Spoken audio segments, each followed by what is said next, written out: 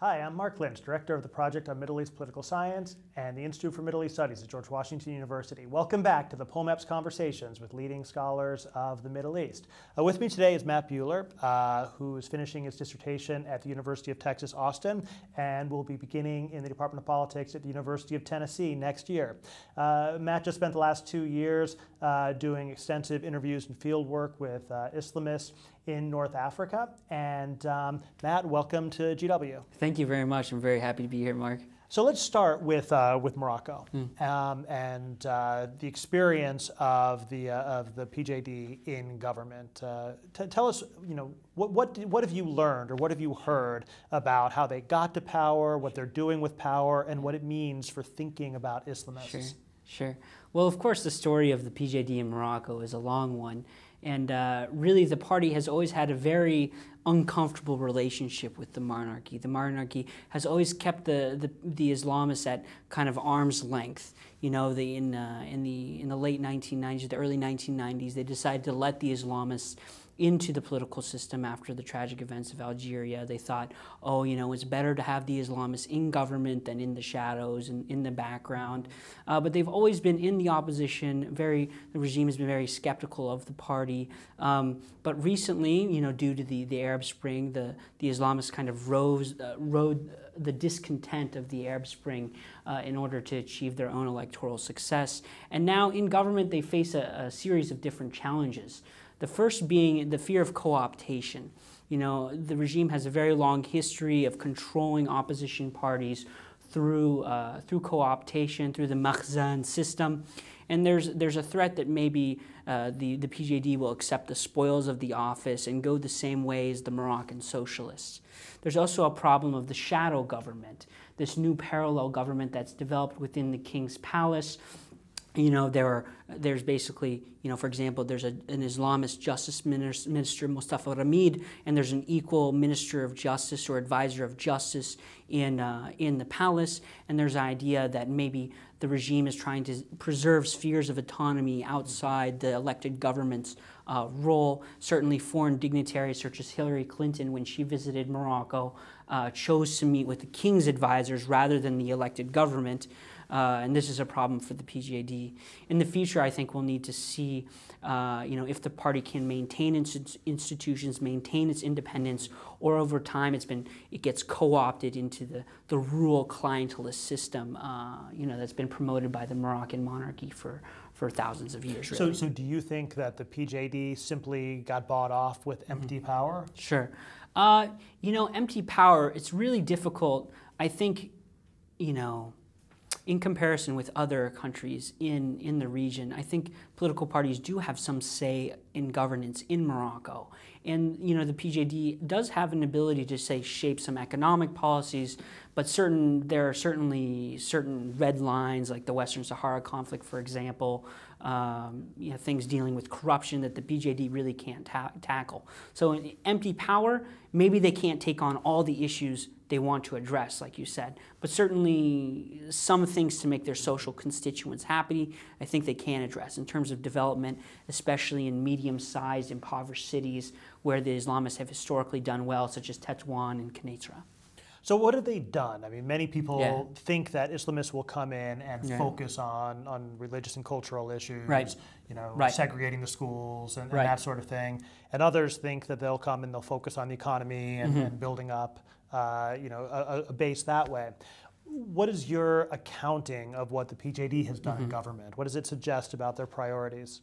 Well, thus far, you know, to be quite honest, the PJD is really just handling the various economic problems that Morocco has inherited uh, from the previous El Fassi administration. So there's been uh, pressure by the regime's economic advisors to cut certain subsidies uh, in, in the national budget to equalize uh, or, or, erase the budget deficit. And these have to do with petrol, um, bread, and other staple food items. And so the, they've asked the PJD to make these cuts. The PJD has said, yes, we're going to do it, but we want targeted reforms. In other words, we want these subsidies, we want to remain, we want to keep subsidies for, um, you know, poorer citizens, but for citizens that are wealthier, we want to figure out ways to kind of close these loopholes and bring in more money mm -hmm. to equalize the budget. In terms of the, the various social issues, the PJD hasn't changed anything. There's been no new restrictions on dress of, of foreigners or locals on beaches. There's no been no new laws concerning alcohol distribution. Morocco is very famous for even during Ramadan periods, uh, even when the, the socialists were in power, there's a restriction of the sale of alcohol, and I suspect that that will continue into the future. We could see some more conservative social policies than we've seen in the past, more restrictions on alcohol for Moroccans and not for foreigners. But uh, I think only time will tell what's going to happen with that. Is there, is there any sign of discontent uh, in their base mm-hmm. over their inability to pursue more Islamic legislation? Hmm. That's a good question. I haven't seen I haven't seen anything thus far. I mean, in some ways, I think that the base is still trying to come to grips with this important monumental change. Mm-hmm. I mean, really, you know, the elections were in 2011, November 2011, so we're into two, 2013 now. But I think the, they're still trying to figure out what exactly the PJD can and can't do uh, relative to the shadow government, the power of the palace, and you know what kind of what kind of change they really can implement over time. Now, in the broader sphere of Moroccan Islamism, uh, many people are very interested in, in you know, the death uh, of Sheikh Yassin sure. and what this will do to the Adl al-Ihsan movement. Sure.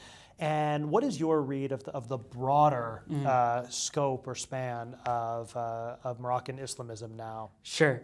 Well, so people have, for a long time, scholars of Middle East politics have spoken about these two different Islamist groups in Morocco Al Adl Ihsan, or the Justice and Charity Movement, and the PJD. Uh, now, I think most of this, over, to, you know, from the past, there was kind of a consensus that Al Adl Ihsan was stronger than the PJD. But I think most of this research is based from the early 1990s, and it might be out of date. We're really 20 years past these really important Mudawana debates when Al Adl Ihsan really asserted its street presence. And right now, I think in some ways the organization has deteriorated over time, certainly with the death of Sheikh Yassin. The turnout to his funeral, funeral was not nearly as big as the street protests. You know, Al Adl Ihsan during the Arab Spring uprisings really didn't have uh, didn't, you know, if you looked at the protests, I went to several of the protests to observe, they never had more than 10 or 15 percent of the general population of protests allied with Al Adl Ihsan. Mm-hmm. So in some ways, I think that there's been a shift in terms of the, uh, of the supporters from Al Adl Ihsan to the PJD, realizing it is a serious Islamist party. It does want to implement democracy uh, through gradual participation in the system, and it also wants to implement uh, you know, more conservative social policies.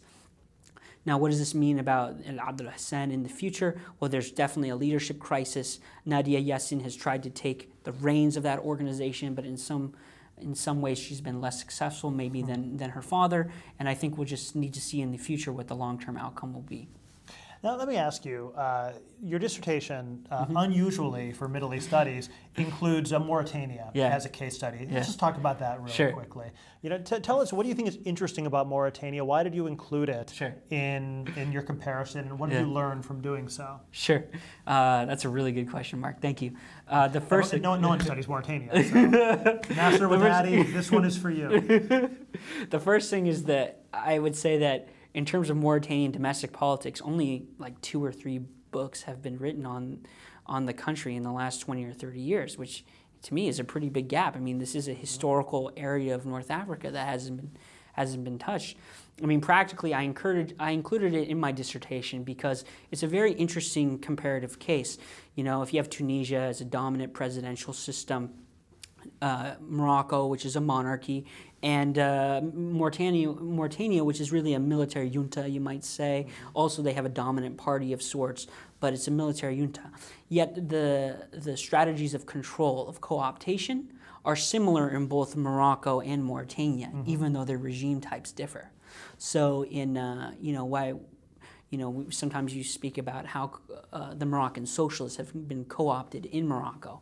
Well, what you see in Mauritania is that uh, the Islamist party, at Tawassul, has been co opted by that regime. In fact, at one point, the Islamist opposition party there had, had broken its alliance with other secular opposition parties to, in fact, enter into an alliance with uh, Mauritania's regime party, the Union for the Republic Party, which is led by uh, Mohamed Abdelaziz, the president of Mauritania and the, the coup leader. So you have the coup, you have elections, you have a counter coup. Uh, how much has changed? In, is this just surface, or have fundamental things changed in Mauritanian politics? Well, I think that coups in in uh, in Mauritanian politics are kind of like the rains; they come and go. You know, quite frequently every two or three years. Right.